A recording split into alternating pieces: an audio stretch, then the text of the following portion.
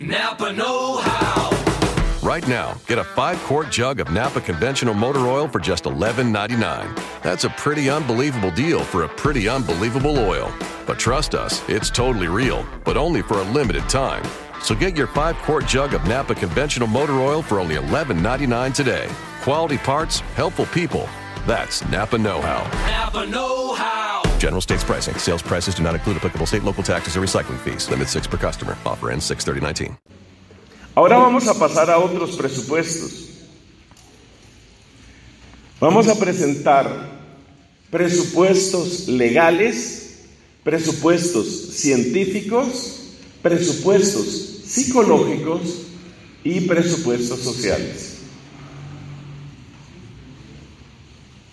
O sea que en total son cinco series de presupuestos. Primero los del diálogo que ya los hemos comentado. Después, legales, científicos, psicológicos y sociales. Es muy importante en una conversación sobre estos temas establecer presupuestos. Porque cuando tú estableces un presupuesto, cuando tú fijas un presupuesto, estás impidiendo la manipulación emocional. Te voy a dar un ejemplo que no tiene que ver directamente con el aborto. Fijemos este presupuesto. Robar es un delito y robar con violencia es un delito agravado. Ese es un presupuesto, es un principio. ¿Está usted de acuerdo con eso? Sí. ¿Robar es un delito? ¿Robar con violencia es un delito agravado? Sí. Ya que usted admite ese presupuesto, quiero comentarle que anoche, anoche, no más anoche, su hijo se metió en una tienda a las 10 de la noche, amenazó con un cuchillo a la señorita que estaba en la caja registradora y se llevó por la fuerza 30 mil bolivianos. Como está claro el presupuesto, ya sea o no sea el hijo, ya sea quien sea, está claro lo que hay que hacer. Por eso en estas discusiones, establecer claramente los principios, establecer claramente lo que aquí estamos llamando presupuestos, es muy importante. Porque es la manera de responder a la tendencia lacrimógena con la que se suele vestir toda la conversación sobre el aborto. Presupuestos legales. ¿Qué presupuestos legales interesan en el tema del aborto? Primero, la presunción de inocencia. Quienes tengan entre ustedes formación como abogados, quienes tengan formación en estos temas de leyes, inmediatamente van a reconocer las expresiones que utilizo aquí. Yo no soy abogado, yo no soy experto en el tema, pero la información que voy a dar creo que es suficientemente segura. Primero, primer presupuesto legal, se llama presunción de inocencia. Presunción de inocencia, ¿qué quiere decir? Que toda persona es inocente mientras no se demuestre que es culpable. Eso es lo que quiere decir presunción de inocencia. Y esto vale para todo sujeto humano. Para todo sujeto humano. Es inocente mientras no se demuestre que es culpable. Segundo, presupuesto legal. Las leyes están para defensa del inocente. Yo creo que nadie puede discutir eso. Difícil imaginar un estado de cosas más perverso que lo que a veces tristemente vemos, que las leyes sirven para defender a los corruptos, para defender a los culpables. Pero es evidente como principio legal que las leyes están para defender al inocente. Tercero, toda persona culpable debe estar sujeta a algún género de pena o castigo. A veces será muy leve, a veces será simplemente la reprobación social, a veces será muy grave, pueden ser años de cárcel. Pero todo comportamiento delictivo debe ser castigado, reprobado por la entidad correspondiente, básicamente por el gobierno, por el Estado. Eso debe quedar claro también. A veces el castigo es simbólico. Si una persona va por la calle, tira un papel, está haciendo basura, es algo incorrecto, pero ningún código penal va a meter a una persona a la cárcel por tirar un papel en la calle.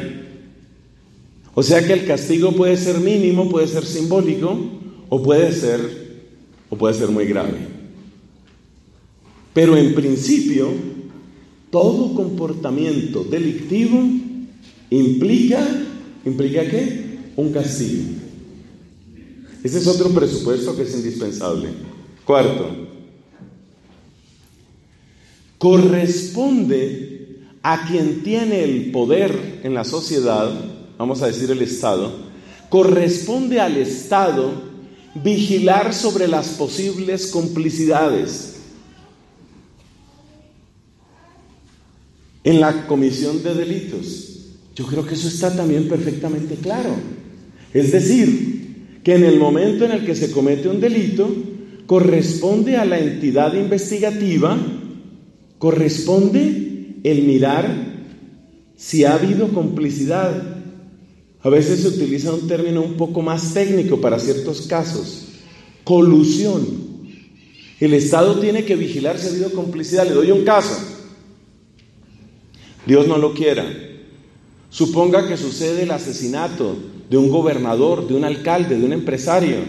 Detienen a una persona. Es un muchacho de 20 años de extracto social muy, muy modesto, muy pobre, que mató a este gobernador. ¿Ustedes creen que la investigación queda ahí? Claro que no. O sea, ¿por qué este señor mató al gobernador? Ya se demostró que fue él. Pero es evidente que ahí tiene que haber algo más. Entonces la investigación sigue. ¿Cuál es el autor intelectual? ¿Por qué se produjo este crimen? Corresponde al Estado investigar las complicidades. Este es un principio legal muy importante. Y en el tema del aborto sí que es grave esto, porque la red de complicidades es muy extensa. Y resulta que estamos viviendo en muchos países niveles tan severos de daño legal que resulta que los cómplices son protegidos por la ley. Y el último principio legal muy relevante dentro de este dentro de esta discusión es la identidad del sujeto a lo largo de toda su vida. Es un principio filosófico y legal identidad del sujeto durante toda su vida. Un caso interesante se ha dado hace poco en Alemania. Resulta que encuentran a un hombre que actualmente tiene bastante más de 90 años de edad. Este hombre ayudaba, en labores de secretaría y contabilidad en el campo de concentración de Auschwitz en la Segunda Guerra Mundial. La Segunda Guerra Mundial terminó en 1945, hace más de 70 años. Pero se demostró plenamente que ese hombre, ese anciano de 90 y no sé cuántos años, había colaborado con el régimen nazi en la eliminación de centenares de miles de judíos en el campo de concentración de Auschwitz. ¿Qué significa el principio de la identidad del sujeto a lo largo de toda su vida? Que ese anciano sigue siendo responsable de lo que sucedió 70 años atrás. Por supuesto, legalmente hay crímenes que prescriben, hay crímenes que no prescriben. Aquí el vecino país, Argentina.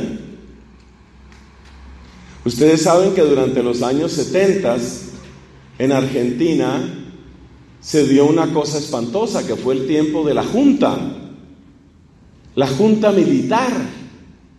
Esa Junta Militar desapareció, es el verbo que se utiliza, muchas veces después de horrendas, infernales torturas. Desapareció a miles y miles de personas. Fueron encarceladas, fueron torturadas, fueron asesinadas por la Junta. Eso sucedió en los años 70 del siglo pasado. ¿Qué pasa con esas personas? Vamos a decir que esos delitos prescribieron y que aquí no ha pasado nada y que ya no hay que investigarlo.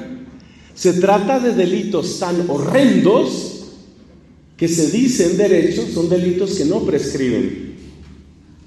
Hay otros delitos que sí. Por ejemplo, una persona se robó un auto. Es un delito, claro. ¿Cuándo se robó el auto? En 1969. Vamos a meterlo a la cárcel porque se robó el auto en 1969. Cada país determina qué delitos prescriben y qué delitos, por su condición de gravedad o de horror o de sevicia, no prescriben.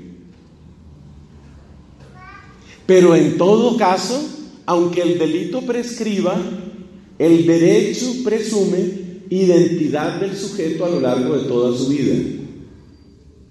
Son principios del derecho la identidad del sujeto. De hecho, una institución que ha sido bastante, bastante golpeada, muchas veces con razón, es la misma Iglesia Católica. Ustedes han oído todos estos temas tan dolorosos y vergonzosos para nosotros los católicos, estos temas de abuso, abuso físico, abuso sexual, algunos de esos delitos han sucedido hace 30 años, hace 40 años, pero por su condición de ser delitos crueles, atroces y en condiciones de indefensión, son delitos que no prescriben. Entonces ha habido sacerdotes, obispos que civilmente han sido acusados, con toda razón, es triste decirlo, porque son delitos que no prescriben. Eso se llama identidad del sujeto. Pero eso sucedió hace 50 años, sí señor, pero usted es el mismo. Eso se llama identidad del sujeto a lo largo de la vida. Porque ese principio es importante para el aborto? Porque resulta que también hay identidad del sujeto entre el no nacido y el nacido. Si usted en el vientre de su mamita tenía una enfermedad congénita o una condición congénita, a los seis meses de su vida intrauterina y usted nace, a los tres años tiene esa misma condición, a los diez años tiene esa misma condición, a los sesenta años tiene esa misma condición. Hay identidad del sujeto. Y la identidad del sujeto a lo largo de la vida es muy importante porque es la que muestra que la eliminación de una vida por el hecho de que se encuentre en el vientre materno no puede ser menos grave que la eliminación de una vida después del parto. Es un principio legal muy importante. Entonces les repaso los cinco principios legales especialmente relevantes en la discusión sobre el aborto. La presunción de inocencia. Luego, las leyes están para defender al inocente. Luego, toda acción delictiva debe ser castigada. Luego, número cuatro, la vigilancia sobre las posibles complicidades. Y luego, número cinco, la identidad del sujeto a lo largo de su vida. Estos son cinco principios legales muy importantes, porque si ustedes se educan en estos principios, que son filosóficos y legales, ustedes van a empezar a darse cuenta que qué monstruosidad es la legislación pro aborto. Va en contra de estos mismos principios que son básicos al derecho. Bueno, ya hemos visto los presupuestos de diálogo, que fueron tres. Gracias a Dios hoy la gente está tomando bastantes apuntes, eso me hace feliz. Pueden decir que tengo complejo de profesor, lo admito. Entonces, entonces, están los presupuestos de diálogo, están los presupuestos legales, The Starlight Lounge presents an evening with the Progressive Box. Moon. Yeah. That's Hugo, tickling the ivories. He just saved by bundling home and auto with Progressive. Gonna finally buy a ring for that gal of yours, Hugo? Send her my condolences. Hi-oh! This next one's for you too. There's a burglar in my heart. Thank you. Progressive Casualty Insurance Company and affiliates. Discounts not available in all states or situations. Get to Old Navy today. All tees, all shorts, and all dresses are on sale now for 50% off. That's right, get 50% off all tees, 50% off all shorts, and 50% off all dresses. Get the styles you want most right now with shorts from just 12 bucks for adults, 8 bucks for kids. Tees start at just 7 bucks for adults, 6 bucks for kids. Don't miss out. Hurry into Old Navy and OldNavy.com. Valid 619 to 626. Excludes in-store clearance, active licensed men's packaged flag styles.